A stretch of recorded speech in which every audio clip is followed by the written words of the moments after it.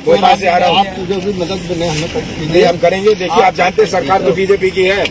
इतना बड़ा धोखा इतना बड़ा भ्रष्टाचार। और मुझे रहने ये जो डैम फटा है ये डैम नहीं फटा ये बीजेपी के भ्रष्टाचार का डैम फटा है। और आपकी मदद करेंगे।